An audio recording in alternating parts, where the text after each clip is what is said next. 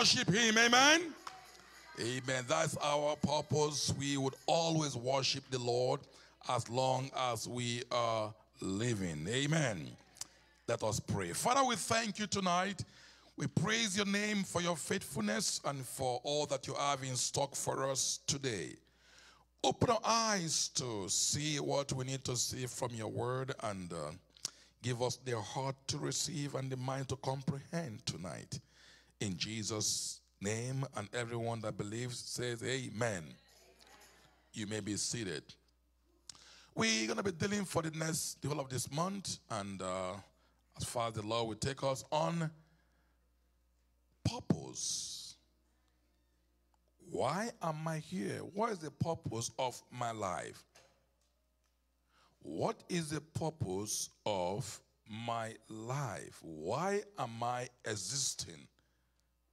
Why am I in this earth? Where am I living?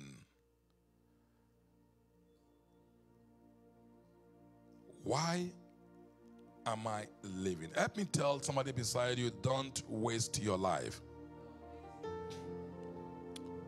See, the purpose of a thing is in the mind of its creator. Like the purpose of this water bottle is in the mind of the one who made it. This water bottle is created to hold water, but not to hold sand. And when you know the purpose of your life, it helps you to fulfill your destiny. We all have been sent on the planet Earth such a time as this to fulfill destiny, and knowing your purpose is important and help you in fulfilling what God has called you to do. So, a life without a purpose is a life of waste. Repeat after me a life without a purpose is a life of waste. Ephesians chapter 5, verse 15 to verse 17. See then that you walk circumspectly, not as fools, but as wise. Redeeming the time because the days are evil. Therefore, don't be unwise, but understand uh, what the will of the Lord is. So it's very simple. The scripture is telling us right here from verse 15. He said, Walk circumspectly.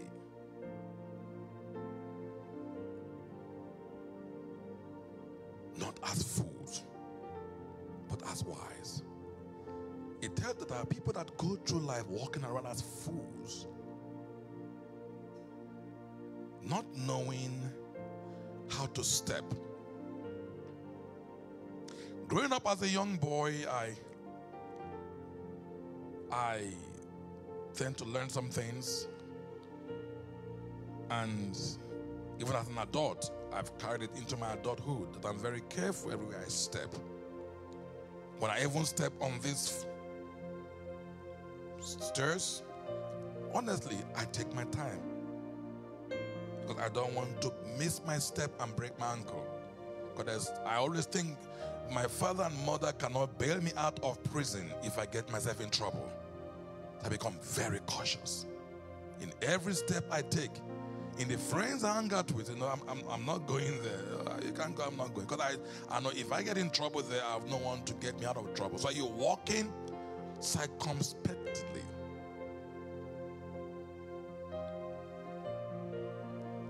Not as fools. Why must you walk like that? Why must you be cautious? Why must you not waste your time? Because time really can be wasted. That's why if you have time wasters in your life, they are your worst enemy. People that like to waste your time, if you can, get away from them. Because you have too much to do and there is not enough time to do it. So it tells us in the next verse, redeeming the time because the days are evil. I don't have to explain this, we all know.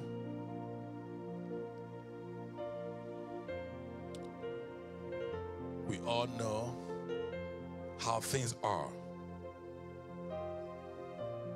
We all have to be redeemed time, save time. And I love the next verse that said, Do not be unwise. But, that's verse 17. But understand what the will of the Lord is. What is God's will for your life? Do you know what it is? What is your purpose for living? Why are you on this earth? Is it just to live, eat, and die? Wake up,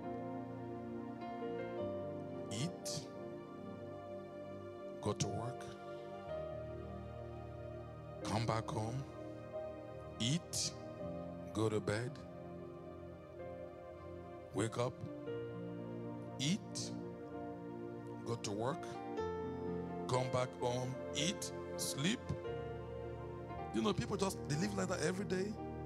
They just wake up, they eat, go to work, come back home, eat, go to sleep, wake up the next day. That is just the life. But God have more planned for us than that. If you believe, let your amen be sound like amen.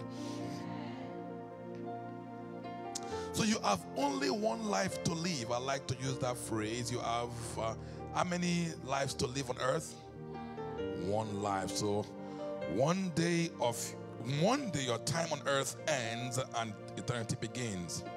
So one life to live. And the Bible warns us very carefully, don't waste your life, don't waste opportunities that you have. Make the best use of your time. That means you must prioritize your life. You must prioritize your life. Don't waste your time. Don't waste your time. Help me say to yourself, I will not waste my time. So, the purpose of a thing is in the mind of the Creator. So, I'm going to ask three key questions here tonight. Number one question What does God want? He's your creator. What, what, does he want? What does he want? What does God want? He must have a reason for placing on this earth. What does he want? Why would he place you here? Why didn't you come out as a goat? Decided, I want to be a goat? No, that's true. You know, sometimes I used to think, I would think like this. I was a man, how come one dog sleeps with the owner and the other dog is kept outside? Did the dog decide I'm gonna be sleeping in the on the owner's bed? No. So, you know what? The dog never said, I'm gonna be a dog, I'm gonna be I'm going to be a puppy. No. That dog was made for a reason, the way it was made. So when God made you, God made you for a reason. So three questions. One, what does God want from you? Number two, what will it take? And number three, why? We're going to try to answer these three questions tonight that will help you to think a little different about your life and the purpose for life on this earth. What does God want? What does He want? What do you think God wants from you? What does God want? Souls, what does God want? What does God want? Fellowship, what does God want? Help me out. What does God want? God does God.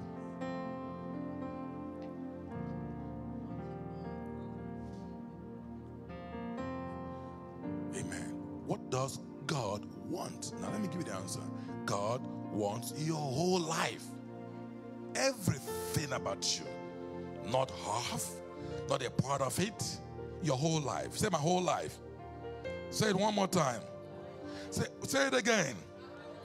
So God wants your whole life. Look at what it tells us in chapter 10, verse 2, 12 of Deuteronomy. And now Israel, what does the Lord want? But to fear the Lord your God, to walk in all his ways, and to love him, to serve the Lord your God with all of your heart and with all of your soul. With all. Somebody say all. Say one more time. What does God want in return for what He has done for us? We see in the scripture to fear the Lord, reverence, respect Him, honor Him, honor His authority. What does He really want? He wants the whole of your life. He wants everything. Chapter 8, Proverb, verse 8 talks about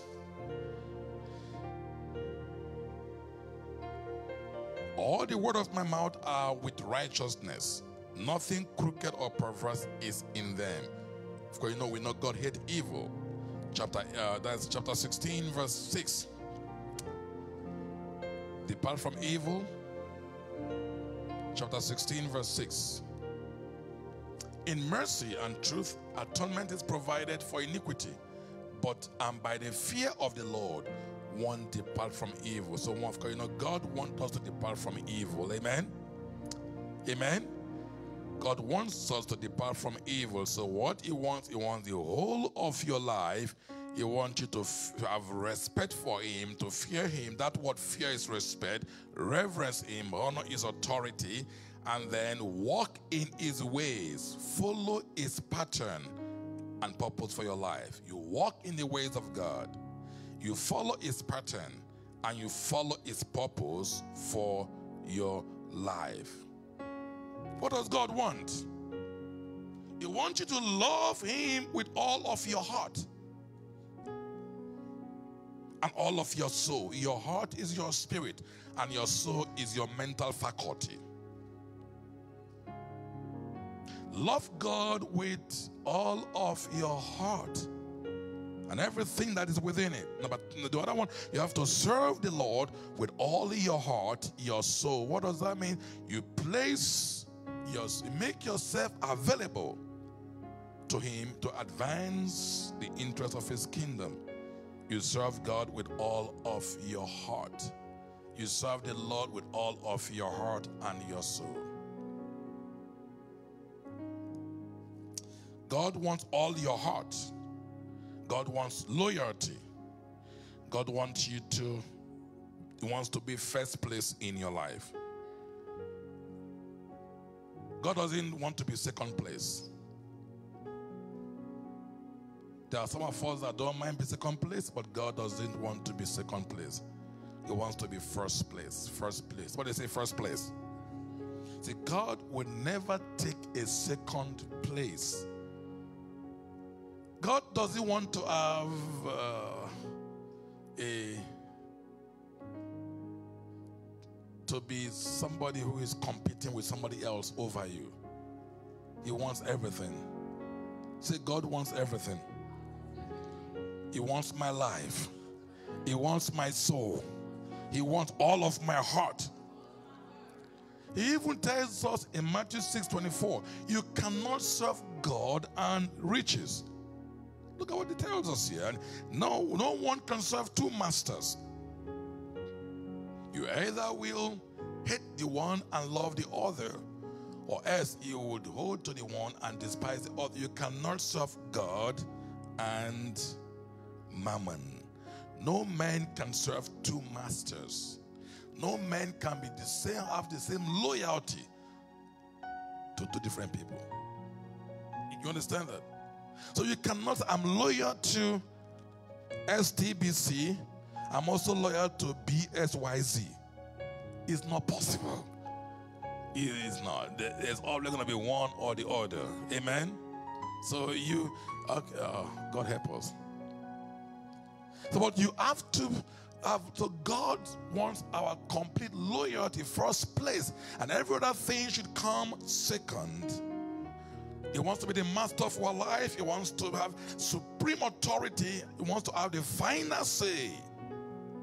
Final say. Final say.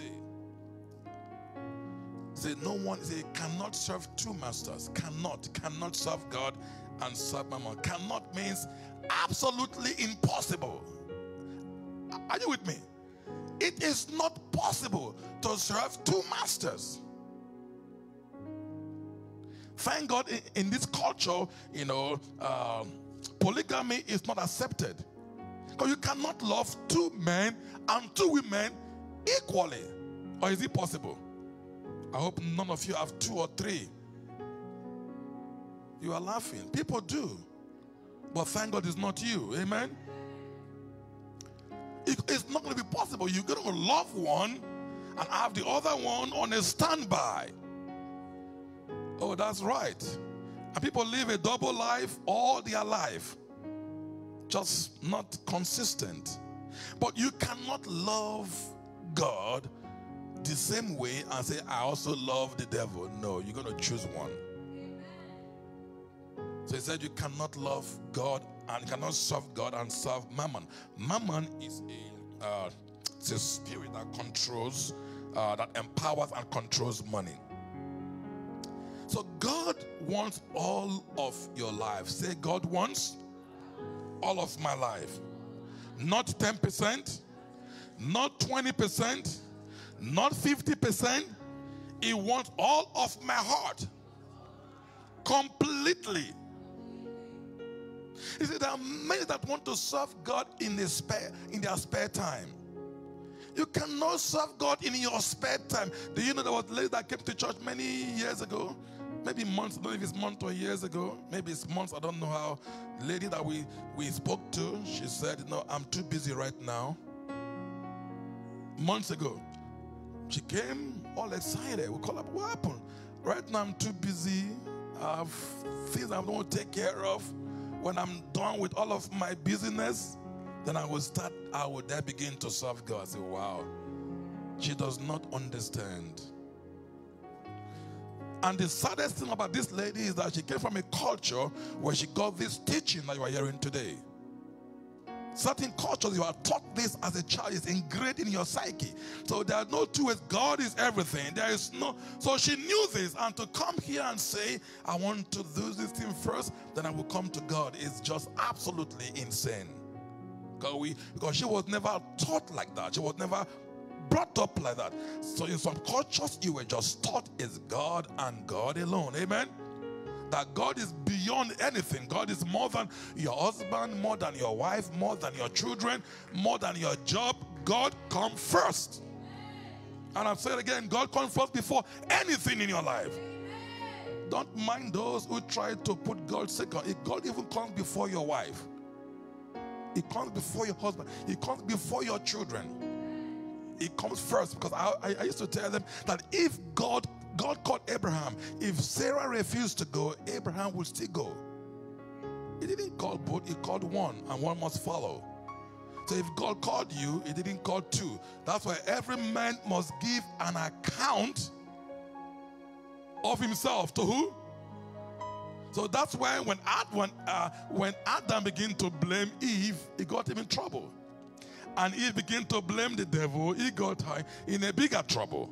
Because everyone must give account for himself. Somebody say another amen.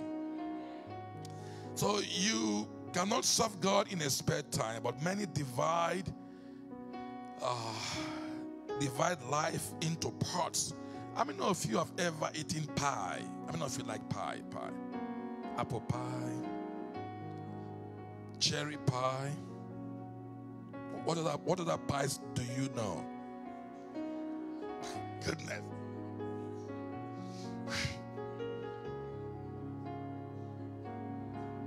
I like pecan pie. it's sweet too. Plus the pecan. Mm. But today's Wednesday, so.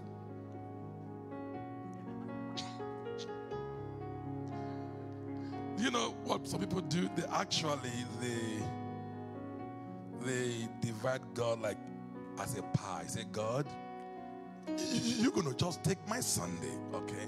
Okay, God. And even in that Sunday, I'm only giving you one hour and 15 minutes. Lord, the rest of the days of the week is mine and the devil. they may not say it like that, but that's what it is. I'm going to curse. I'm going to live life like I'm a, the devil's child. But on Sunday, between 10 and 12, Lord, I'm going to be like, Our great is our God. Sing with me.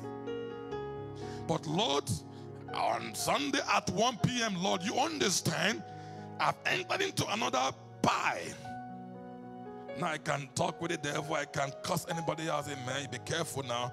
I'm not in church right now. You better behave. I'll beat you up. Because so they deal, they deal with God like that. You, you cannot compartmentalize God. God wants all of you. Say, God wants all of me. So you cannot have two people as number one. No. They have to be number one and number two. I, don't know if it is uh, what's yeah. Let me see. Yeah, yeah. Even in in the yeah, I think I believe in all games, basketball games, soccer. If they tie, they keep on playing until somebody becomes number one. They have to keep on playing. If it is soccer, they will they shoot the goal. Penalty, penalty, penalty, penalty. If they come to be even, they'll do it again until somebody comes one. So God has to be number one. He doesn't want to, to be number two. So God's purpose for your life, He wants what He wants. What does God want? Number one. Put it up there. What does God want from you? I can't hear you. What does God want? Want your whole life. Your whole life. Your whole life. So you cannot serve God and money. You cannot serve God and work. You cannot serve God and family or sport or school or marriage. You can't. It has to be God come first. If you put God first, everything will fall in place. Trust me, if you put God first, everything, your children, your wife, your business, your job will just fall in line. But if you put other things first and God is behind, you'll be in big trouble. But when you put God first, you give Him your whole life. Put Him before the sport, put Him before the game.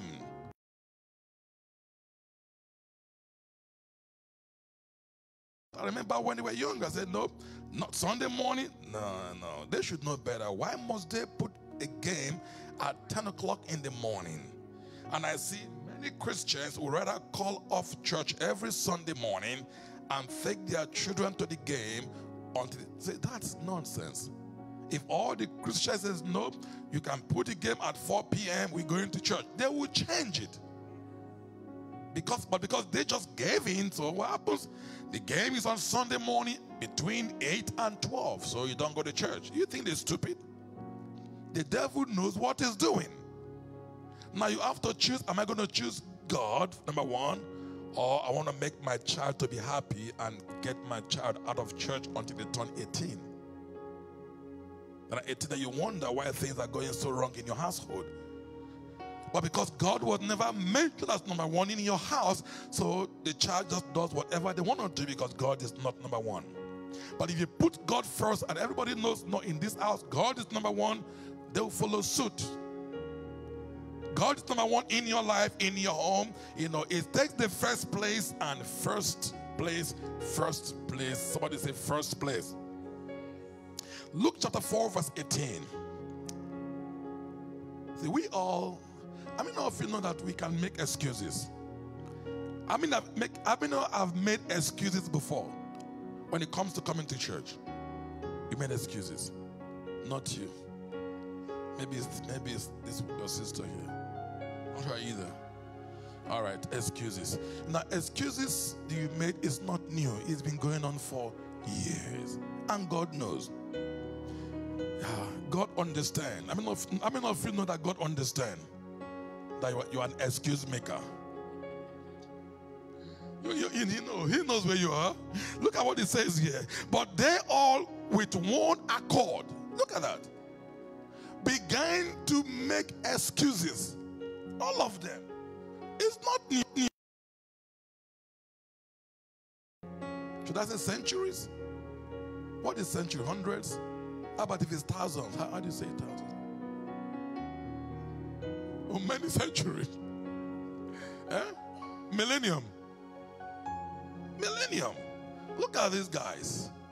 They all in one. That means they all excuse this same time in agreement. The first one said, I have just bought a piece of land, man. I gotta go see it.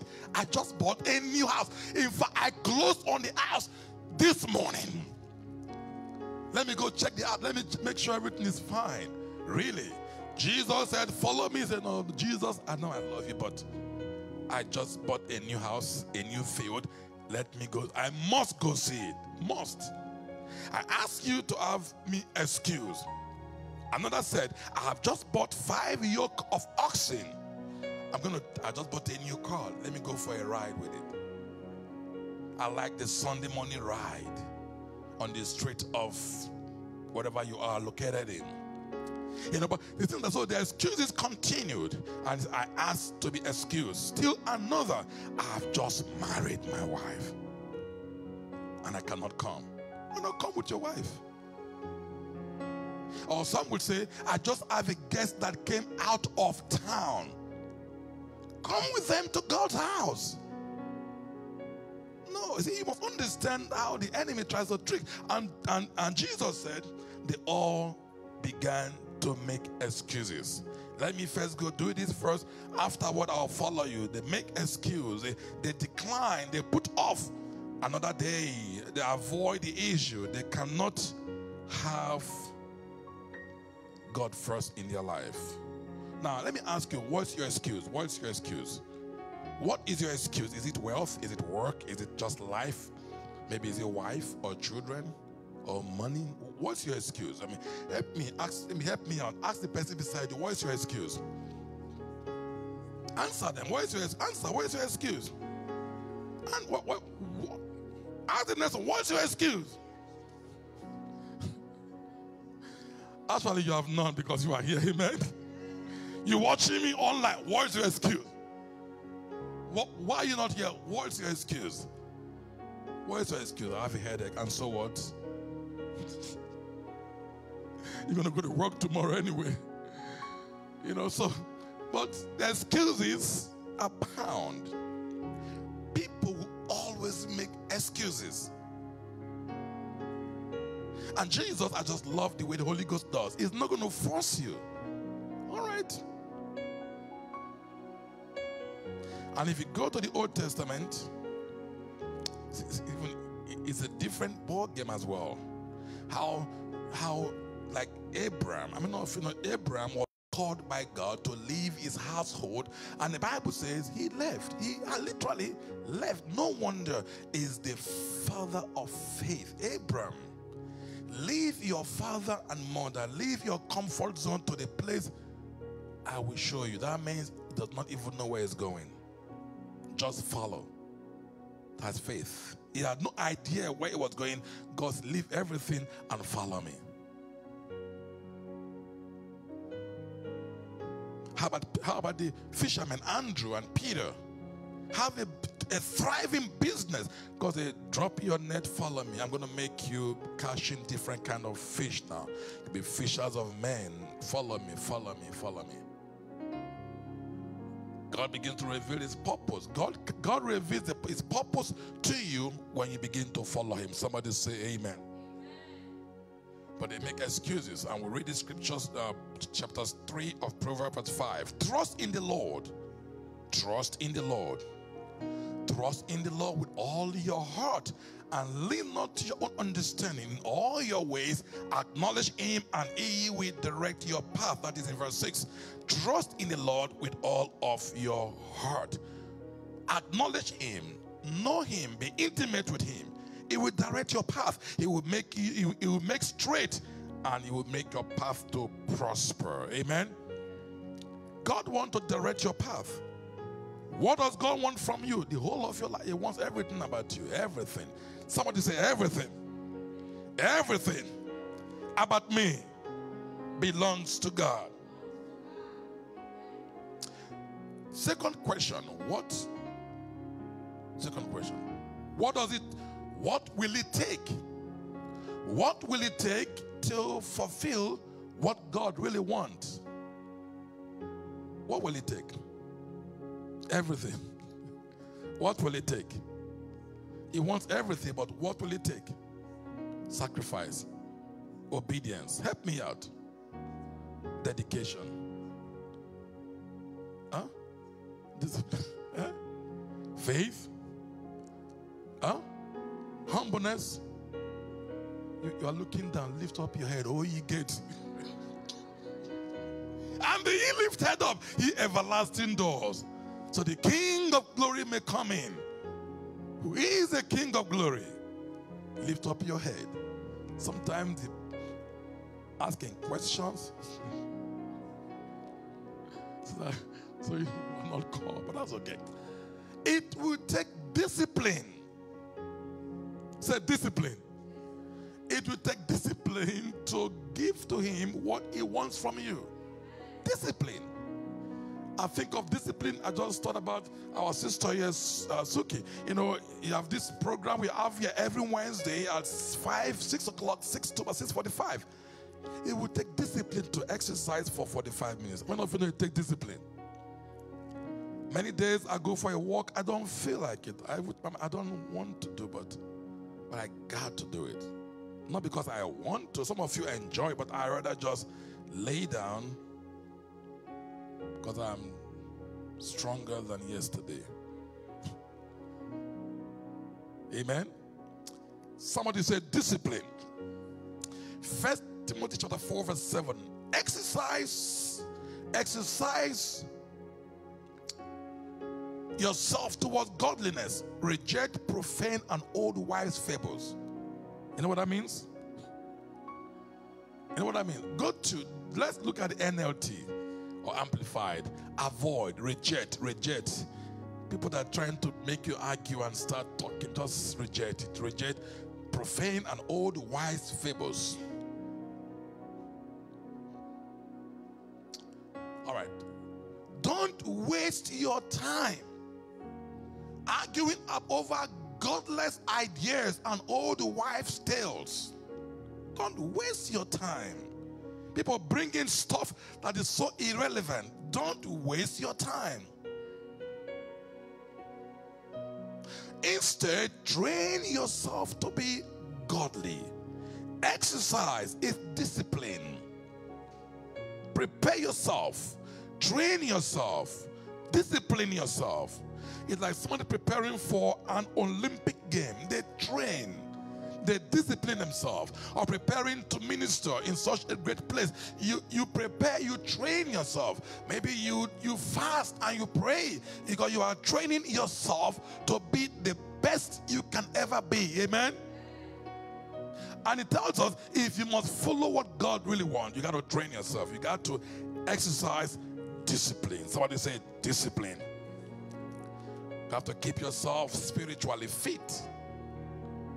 You know, the Bible tells us that bodily exercise is okay, but spiritual exercise is more important. Discipline.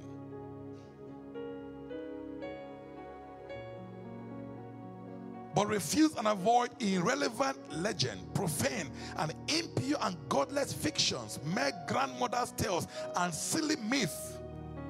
Express disapproval for them Train yourself towards godliness, keeping yourself spiritually fit.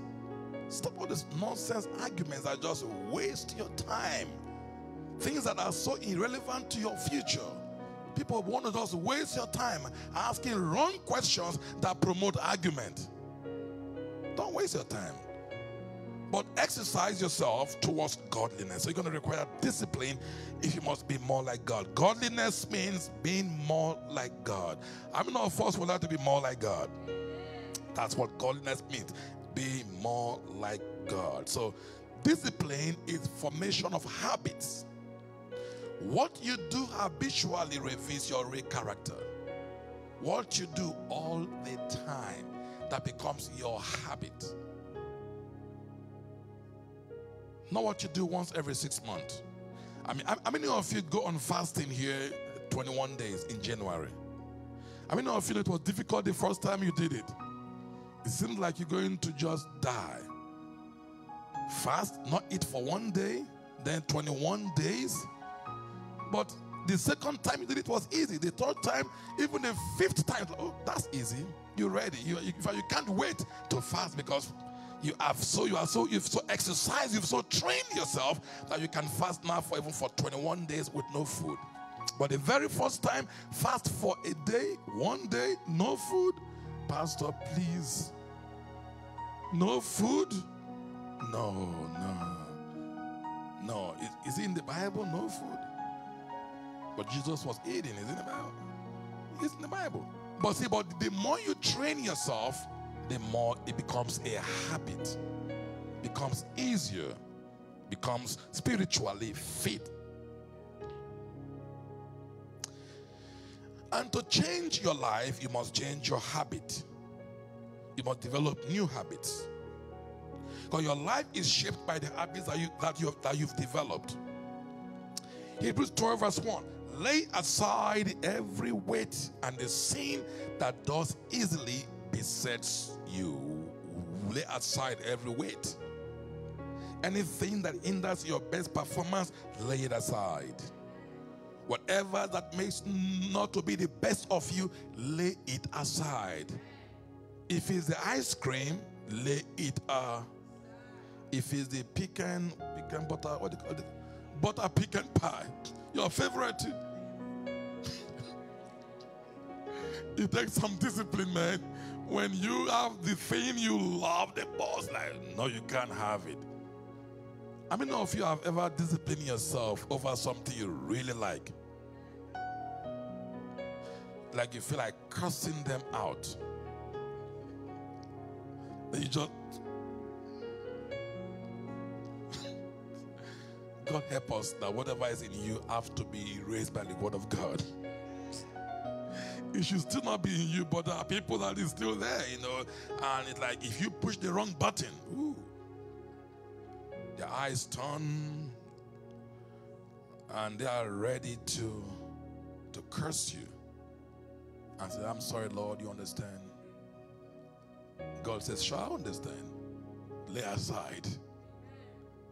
Lay aside, lay aside. Beset whatever besets you, that what beset is uh, easily easily ensnares us. Like it's, like is a is skillfully surrounding. So the enemy knows I strategically place things around you that that makes you always fall. Like every single time, is is is a craft. It ensnares you. It starts. It stands around to have an advantage over you. Lay it aside. So we must develop habits in your in our life if you're going to follow God's way. I'm going to show you some ways to do this. Develop some habits. Good habits. Because you must not live a life of waste. You must not waste your time in life. You must live a life of purpose. Your life must be driven by purpose. You must know why you are here and you must live that life fulfilling your destiny. So I'm going to give you two or three things where to develop habits in your life. You need to develop habit. Number one, you must have the habit of letting go. Letting go, letting go, letting go. Let letting go. Because if you hold on to things you must let go, it limits your growth. Let it go. Help me tell the person beside you, let it go. Third, the next one, let it go. Know, they've offended you, they've messed with you, but let it go. You can't hold on to the past. Let it go so you can enjoy a life of ease. You can't keep on struggling with that same stuff. Let it go. That sin that easily besets you, let it go. I Have the habit of letting go. You must learn to say no. Let it go. Let it go. Let it go. Let it go. Let it go. Let it go. Let it go. Let the offense go. Just let it go. Let it go. Whatever it is that weigh you down, is it money? Let it go. Let it go. Is it fear? Let the fear go. Offense? Let it go. Relationship? Let it go. Whatever, let it go, let it go. Say, let it go. Because if you're going to fulfill your destiny, you cannot hold on to every single thing somebody has done to you. You would not be able to live your best life. You're going to be struggling a life of struggle. You are holding on to offense, holding on to some sin, holding on to some evil things that are done against you. But you must learn to let it go. Say, Father, help me to let go.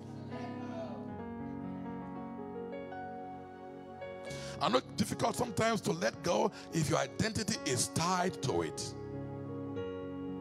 If you think your survival is dependent on that thing, no, no. The Bible says you have been crucified with Christ. No longer I that live, but Christ lives in me. And the life which I now live, I live by the faith of the Son of God who gave himself for me.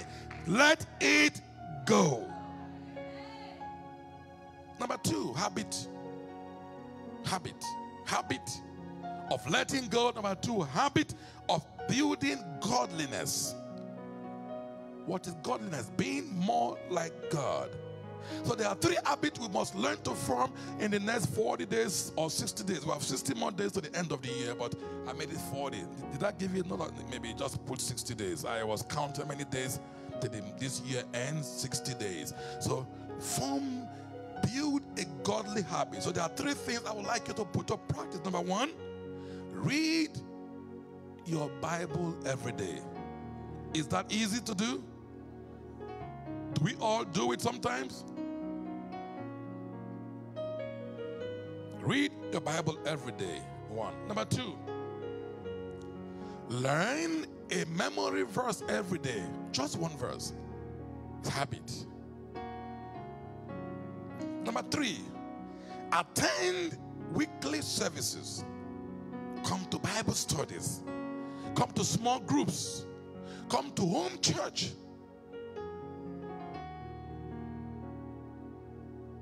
Thank you, Lord.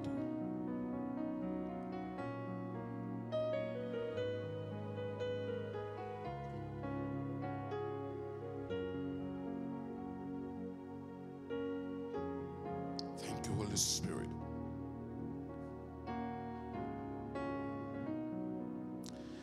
Maybe you have to let go of watching too much TV because it takes your time from reading the Bible. See, there's always a cost to putting God first. Always a cost. It's to cost you something. It's never free. When you put God first, something got to give. Because you cannot have Him and that thing. It's either God or mammon. You can't, it doesn't mix. It's like trying to mix water and oil, they don't mix well. So you have to form this habit next 60 days or next 40 days, whichever is, whichever is easier for you. But you need to understand that if you do something consistently, you're going to be more like Him. Somebody say amen. Now, let me get the third question, try to get with this. Why should I do this? Why should I do it? Why must you let go? Why must you develop a godliness, building habit of godliness? Why must you give your whole life to Jesus? Why? Somebody say, why? It's easy. Why, why, why? Second Corinthians chapter 5, verse 15. He died for all. He died for all. How many did, did he die for? He died for how many? That those who live should live no longer for themselves, but for him who died for them and rose again. Did Jesus die for you? So the life you are living now is not for you, it's now for him. Because if he really died for you, then your life should be for him, not for you. That's how we, we are. That's why we are where we are today. Because we realize He died for us. And whatever thing He asks us to do, we just do. Because He died for us. So my life is for Him. I'm not living for me. And God knows. If God tells me now to do this and live, I will just do. Because I'm not living for me, I'm living for Him. If He tells me give of all of my substance, I will do it. If He tells me leave my job and travel to Senegal, I will do it. If He says go to China and preach the gospel, I will do it. Because I'm living my life for Him. It's not for me. So whatever he asks me to do, I will do. And that shows God that really that he owns all of your life. No longer I. Before Jesus Christ, we are all self-centered. You live for you. And for when Jesus comes into your life, you now live your life for him, for him. You live because he died for you. It cost Jesus Christ to die for you and for many others. It cost him his life. Now, now you have new life in Christ because of what Christ has done for us. So now you have a new purpose. New purpose. Your new purpose now is to please him. Him. What makes him happy? Now you are called the ambassador of Christ. Look at verse 20. Now you are Christ's ambassador. Chapter 5, verse 20.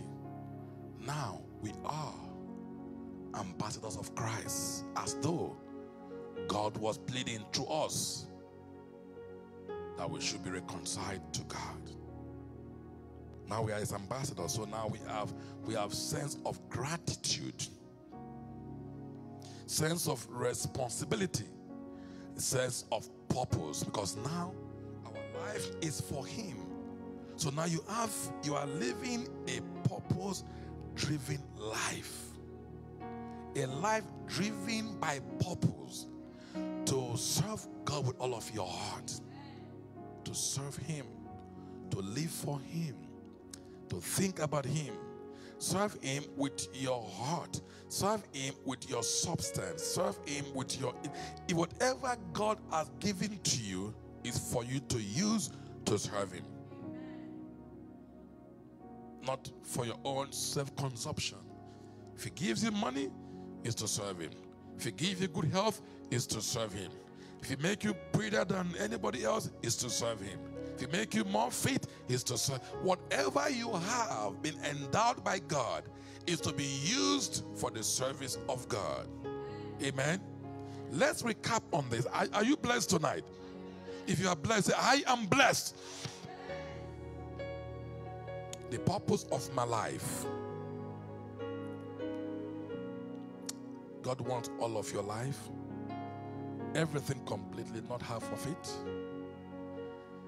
You're going to take discipline. You have to do it because Jesus did it for you. That's easy, I believe. He wants all of your life.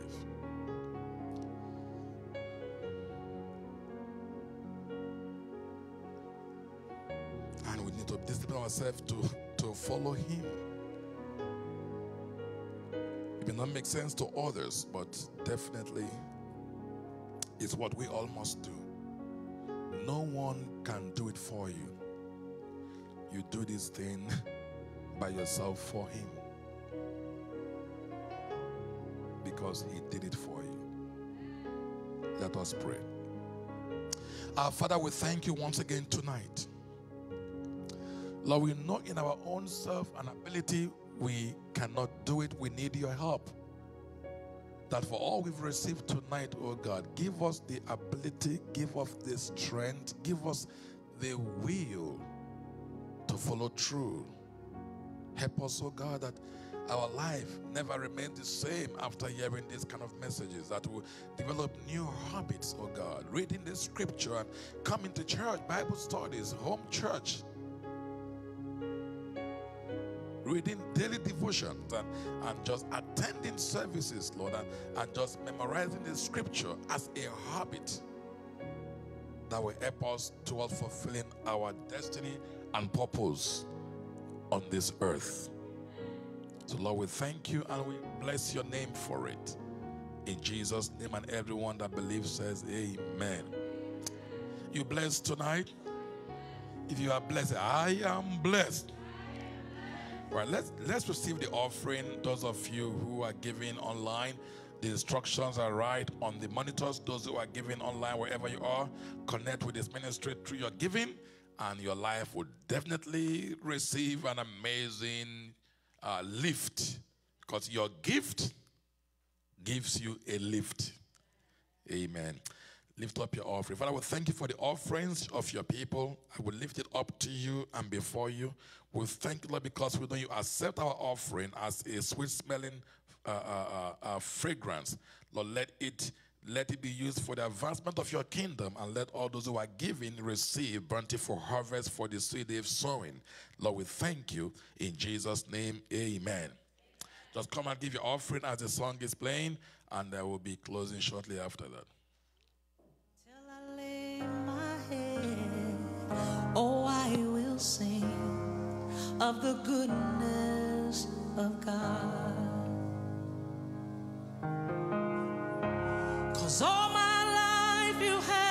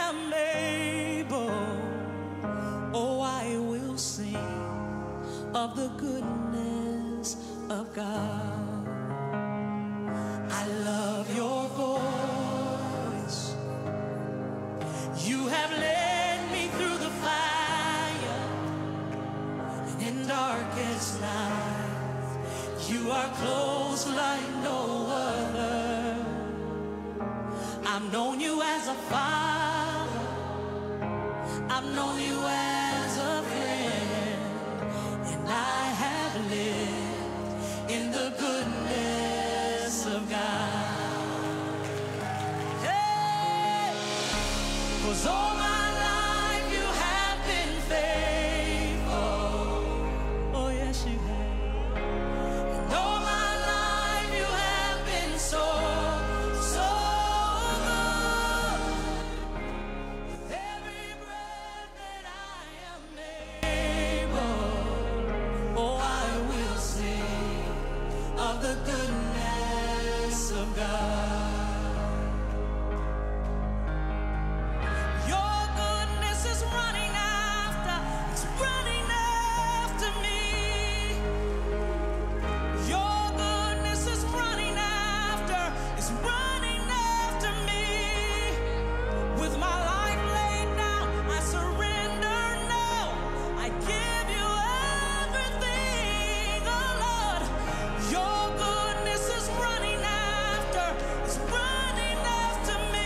Lord, we thank you because we know your goodness is running after us.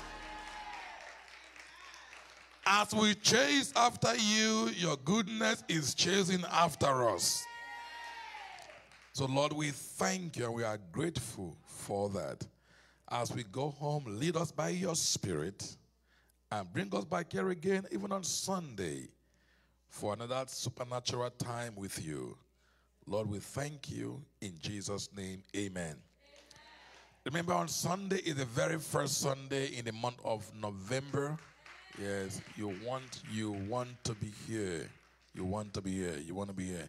And if, if, if this is the very first time being with us, I know I see some new faces. Maybe they're not new, but um, first time, thanks for coming. God bless you. First time, God bless you. God bless you. God bless you.